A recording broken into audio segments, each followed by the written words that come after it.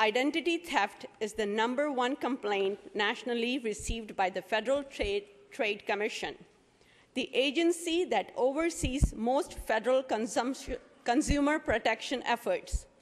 The Iowa Attorney General's office does not receive an enormous number of complaints alleging uh, identity theft in the context of traffic offenses committed using another's identity, but they receive enough of them, annually about 20 to 25 per year, to justify changing Iowa law in the manner of this bill.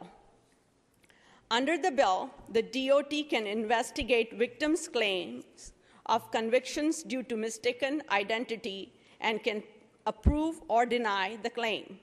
If the claim is approved by the DOT and if the county attorney in the county where the conviction occurs indicates no resistance, then upon receiving an application for post conviction relief, the court may grant a motion for summary disposition of any convictions.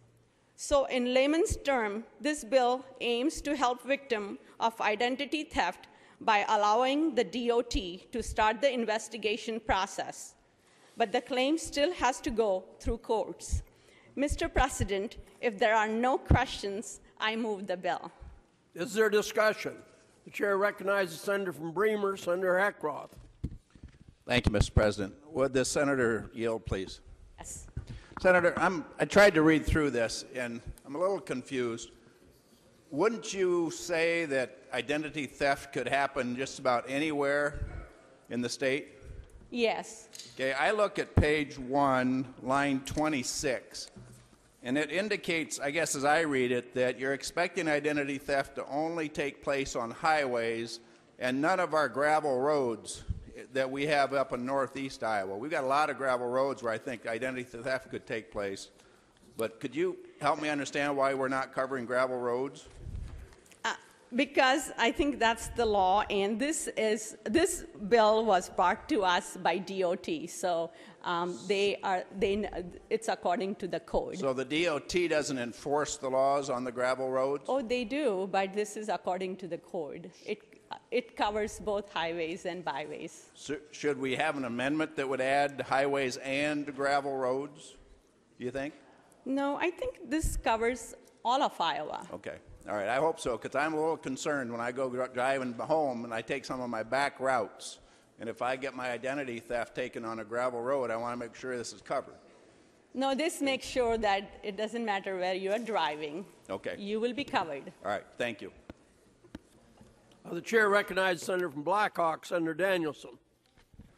Thank you, Mr. President. Would my distinguished would, would my distinguished colleague from Linn County yield? Sure.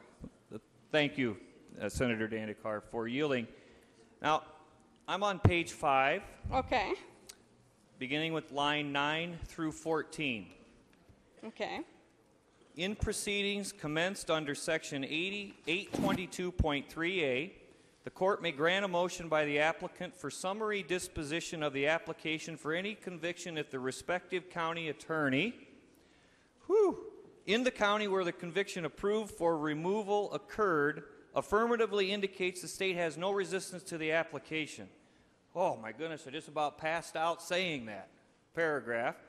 It's okay. In in in in in layman's terms, yeah, because I believe you used layman's terms in your opening remarks. No, in well, layman's in, terms, that could you tell me what that means? That means if um, if somebody goes to DOT and says that my license, my driver's license, was stolen, and um, they start the process, and the courts look into it, and when they find that yes, there was a theft, they say, okay.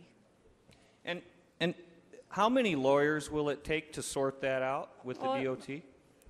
Not none. I think they should have to go through courts because it's DOT is doing the starting the process. It still has to go through courts. So what you're telling me is this is common sense legislation yes. that is written in plain language that the rest of us can understand and we'll be able to do it. Yes. Thank you, Senator Dandekar. And all- Welcome to the Iowa Senate. Thank you.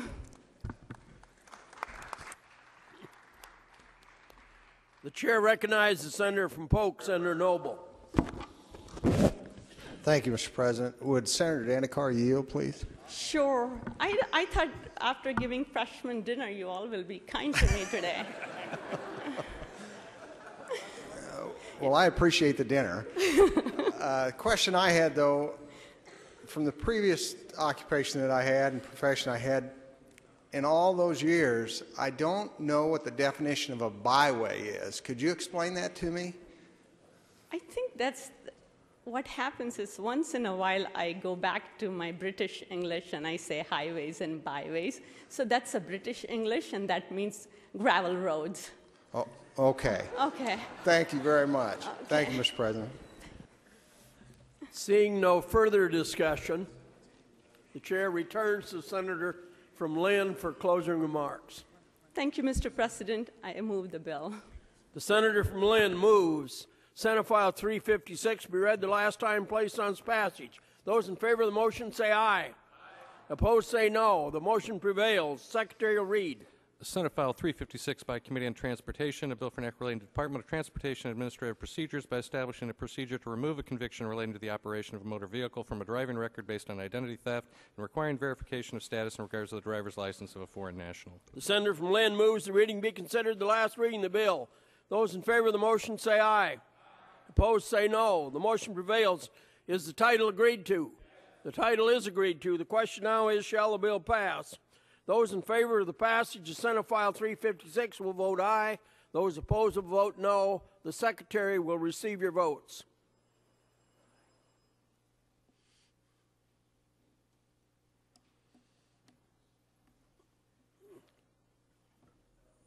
Senator Zaun votes aye. Senator Zaun votes no.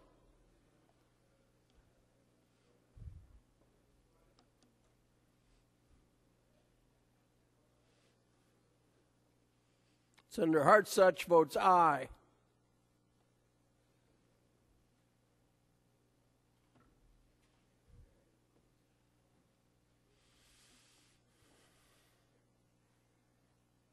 Senator Bolkcom votes aye.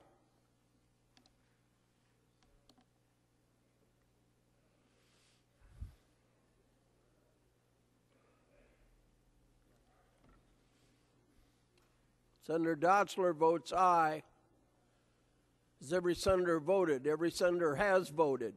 The secretary will close the voting system. The secretary will lock the voting system and record your vote. The Senate will pay attention to the result of the roll call. Those voting aye, 50, no, 0. The bill having received a constitutional majority is declared to pass the Senate, and the title was agreed to.